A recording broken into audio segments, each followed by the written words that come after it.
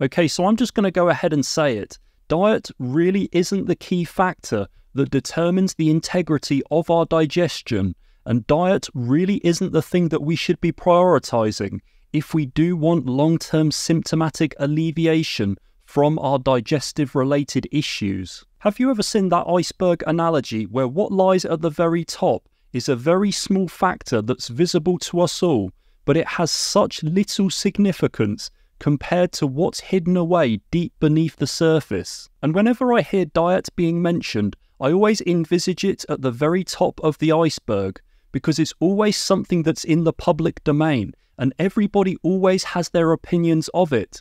But actually, in the whole grand scheme of things, it's something that holds very little significance in the overall function of our digestion. Remember that those with the best digestion tend to eat whatever they want, whereas those with the worst digestion tend to restrict what they eat on a day to day basis. And I think it's very crucial to take this point on board when it comes to improving gut function, because ultimately, what we want to achieve is we want our machine to be able to become more resilient to a wider variety of foods, not severely limit our food choices to become more accommodating to our dysfunction. Which then, of course, brings me on to what I believe makes up the overwhelmingly large proportion of the iceberg that's hidden deep beneath the surface. And what that is, is fine tuning the neural pathways that are responsible for delivering sensory information into our brain. Right, so you're probably thinking to yourself right now, what the hell is he on about? Well, our digestive system is just one of many metaphorical cogs that's function is being continuously impacted by signals that are being sent down by the brain. And these signals can ultimately end up influencing variables like blood flow, immune function, and peristaltic activity within the gut. This happens both consciously and unconsciously, and it's really important to take that point on board because I think many of us are familiar with our digestion becoming upset, perhaps when we're stressed, angry, or we're anxious or excited prior to a certain event. But what about the times when we don't feel any of these things and yet our digestion still feels terrible? To account for these times, we need to consider the possibility that our brain is continuously taking on board inaccurate sensory information regarding our environment at an unconscious level, and in turn, this mismatched information then causes the brain to struggle to actually effectively control and coordinate the movements and activity of the digestive system. And this is an issue that has nothing to do with our mentality and everything to do with our inbuilt hardwiring. Because the fact of the matter is, is that we have numerous receptors that are each responsible for detecting certain aspects of our surrounding environment and then relaying that information to the brain. And if dysfunctions were to occur to any of these sensory receptors or to the neuronal pathways that are responsible for delivering their information into the brain, then you can almost guarantee that the knock on impact of this would end up being chronic symptoms. Because when the brain can't make sense of its surroundings, it really struggles to gain a hold of and actually get the rest of the organs in our body to behave in a desirable fashion. And if the brain is struggling to make sense of ongoing variables like gravity, positional changes, or visual stimuli, then you can bet that the momentary function of our organs, including our digestive system, is really going to be hit hard. But if what I'm talking about is confusing you and you did want total clarity on how this all works so that you can regain your life back, then I 100% recommend checking out the Unbeatable Blueprint online course. Here I break down what is a very complex topic into such an easily digestible format so that you can easily follow along and adopt the exact same principles that I used to significantly improve my own digestive symptoms. But just to clear things up with why I believe the role that diets play is hugely inferior to fine tuning the function of these sensory pathways, I think what might be really helpful is if I discuss what was going on with my own situation. So, every day for over seven years, I was experiencing extremely restrictive digestive symptoms, which included the likes of disjointed gut motility, trapped gas, intestinal spasming and cramping, and alternating diarrhea and constipation. And along with this, I always had heightened immune markers within my gut. And over this time, as you can imagine, I experimented with numerous diets. And whilst certain foods would offer me some degree of symptomatic alleviation, what I ended up finding out was that the results would never last.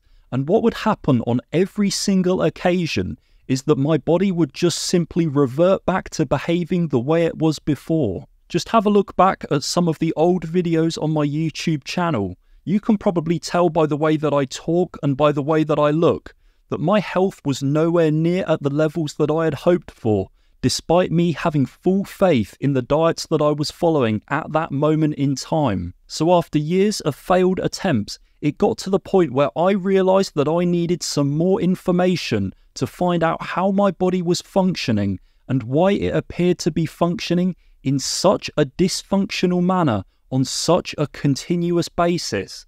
So that then led me in search of an extensive neurological examination. And wow, I can't even begin to tell you some of the crazy things that were uncovered during this examination. Stick with me as I go through this series of events as it will all become very evident as to why I was experiencing such an array of debilitating digestive symptoms that I never would have been able to resolve with diet alone. So, we've got this very small sensory receptor within our inner ear called our vestibular system. And what this system primarily is for is to sense changes in head position relative to the force of gravity. And with this information, it signals to the brain to tell the brain when we change position so that the brain can instantaneously send blood to wherever it needs to go within the body so that we can efficiently adapt to any positional change. So, the sensory information regarding gravity and positional changes is sensed by the vestibular system. This information is then relayed to the brain, and then in turn, the brain then gets blood to be shunted to where it needs to be in the body through mediating our blood pressure. So, one of the big problems that was discovered in my case was that I had a hypotonic or a low functioning vestibular system, meaning that blood was struggling to be transported to where it needed to be in the body, which included up to my head, which meant that my brain was being fueled with consistently lower than ideal amounts of blood, especially whenever I was in a standing position. And because of this, my brain then signaled to my heart to get it to beat faster, to artificially raise my blood pressure levels in order to pump more blood up to my head. And this is the first really important point to note because this increase in sympathetic activity actually steals blood from the gut to allow the brain to perform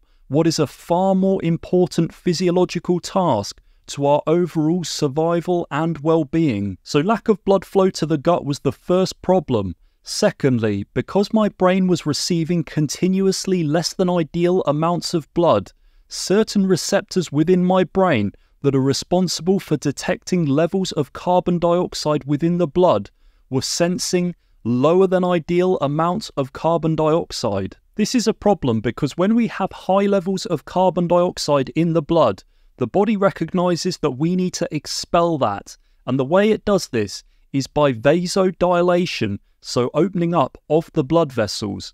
However, when the body senses that there's not enough levels of carbon dioxide in the blood, then what happens is the opposite occurs. And in order to retain the carbon dioxide, it vasoconstricts the blood vessels. So, because I was hypocapnic, meaning that my brain was sensing lower than ideal amounts of carbon dioxide in my blood, it meant that I was experiencing excessive constriction of my blood vessels, and this included the blood vessels that surround the gut and are responsible for peristaltic action of gut motility.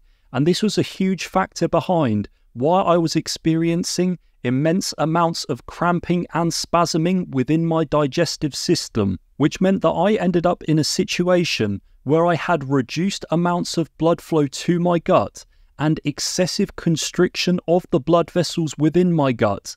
And of course, these two things combined is an absolute recipe for disaster when it comes to gut motility and the ability of my digestive tract to actually break down and digest foods. So, a whole cascade of events unfolded which heavily compromised the function of my digestion. And the reason why this all came about in the first place was because a particular sensory receptor wasn't carrying out the job that it was originally designed to do in an efficient manner. So once I got to work training this particular receptor through functional neurologic rehabilitation and specifically targeted neurological exercises, I was able to observe a significant improvement with the all round function of my digestion, and it offered me the license to experiment with a much wider variety of foods. The main reason why I bring this up is because do you honestly believe that a change in diet, whether that's vegan, carnivore, paleo, etc., would have been sufficient enough to actually address and resolve this issue? Of course, it wouldn't have been. It wouldn't have even scratched the surface, which is why, if you are somebody who's experiencing debilitating and chronic digestive symptoms, I strongly recommend looking into this as a potential possibility and key culprit behind why you experience the symptoms that you do. Now, could the origin of your potential dysfunction be different to mine? Quite possibly, and that's why I suggest having the function of your brain and nervous system thoroughly assessed to be able to identify any of these potential dysfunctional pathways so that you can then train them back up to how they were originally designed to function. And in my case, this was achieved with the help of a trained chiropractic neurologist.